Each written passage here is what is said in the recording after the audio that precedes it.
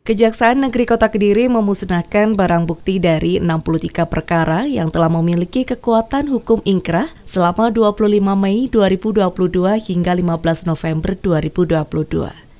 Kepala Kejaksaan Negeri Kota Kediri Novika Muzaira Rauf mengatakan, dari 63 bidang perkara itu, ada kurang lebih enam barang bukti yang dilakukan pemusnahan. Di antaranya, narkotika berupa sabu-sabu seberat 52,24 gram, obat keras sejumlah 109-136 butir pil double L, 4 jerigen miras, serta barang elektronik berupa 5 buah handphone serta senjata tajam.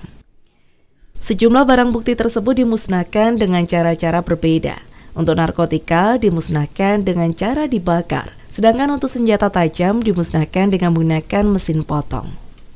Dari jumlah barang bukti yang ada tersebut, Novika mengakui jika narkotika masih menjadi kasus yang paling dominan di antara kasus lainnya. Itu terbukti dari jumlah barang bukti yang didapatkan pada kiat pemusnahan ini.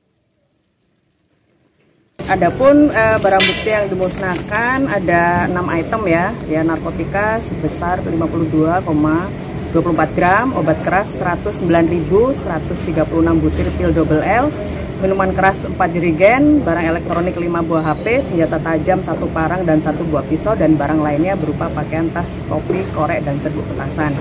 Jadi keseluruhannya ada 63 perkara barang bukti yang dimusnahkan periode 25 Mei 2022 hingga 15 November. Sedangkan kami juga mempunyai barang bukti sabu-sabu seberat 3 kilo. Memang belum kami musnahkan hari ini karena perkaranya belum ingkrah dan kami masih menunggu penetapan pengadilan untuk pemusnahan barang bukti narkotika sabu-sabu tersebut. Novika juga menyesalkan atas 63 perkara yang terjadi selama periode 25 Mei hingga 15 November tahun 2022 ini. Ia berharap agar di tahun-tahun selanjutnya tidak pidana yang ada di kota Kediri mampu menurun bahkan menghilang. Dari Kediri, Penny Kurniawan melaporkan.